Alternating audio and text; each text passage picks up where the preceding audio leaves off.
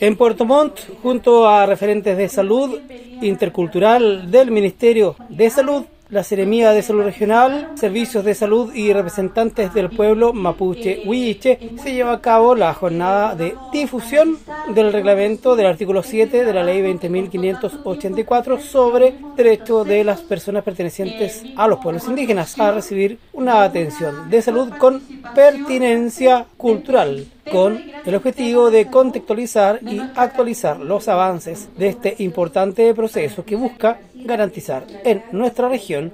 salud con pertinencia cultural. En la actividad participaron referentes ministeriales de la División de Políticas Públicas y la División de Gestión de Redes Asistenciales, las que entregaron orientaciones de la implementación del reglamento a los actores institucionales y comunitarios involucrados en el proceso. Estamos haciendo hitos de difusión territorial en las 16 regiones precisamente para presentar a las organizaciones y comunidades que participaron del proceso de consulta indígena cuál es el reglamento que se construyó, cómo fue tomado razón y cómo vamos a avanzar ahora como institución a implementarlo.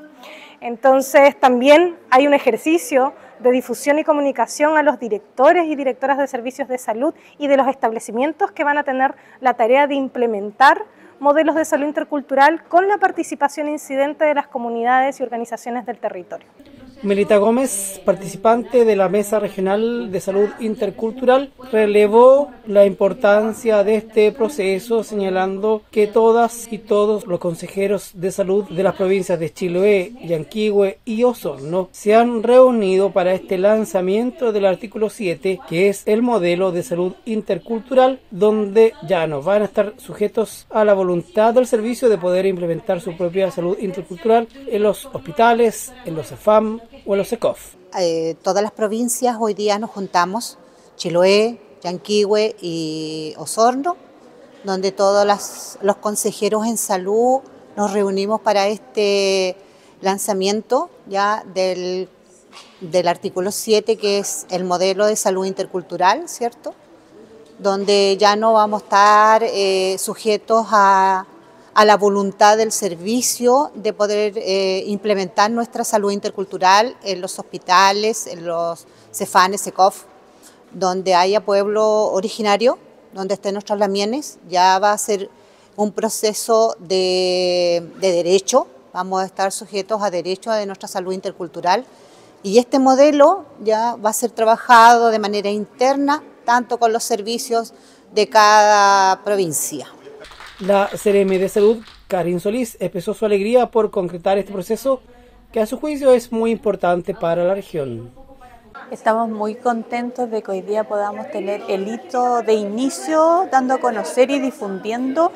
el artículo 7 de la ley 20.584, un trabajo que duró mucho tiempo, que las comunidades estaban muy ansiosas de tener una, pronta resolución y que hoy día ya se materializa entregando los lineamientos, eh, las implicancias que este tiene y los roles que cumplimos tanto la Seremi de Salud como los servicios de salud articuladamente y coordinadamente para poder avanzar en construir una política que eh, manifieste y materialice el componente intercultural, la cosmovisión de los pueblos y que ellos también sientan que esto está atendiendo a la necesidad que ellos mucho tiempo presentaron en participar de todos los, los procesos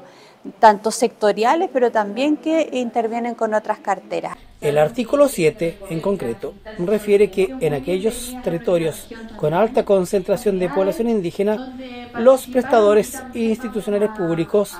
deberán asegurar el derecho de las personas pertenecientes a los pueblos originarios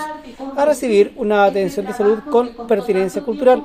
lo cual se expresará en la aplicación de un modelo de salud intercultural validado ante las comunidades indígenas, el cual deberá contener a lo menos el reconocimiento, protección y fortalecimiento de los conocimientos y las prácticas de los sistemas de sanación de los pueblos originarios.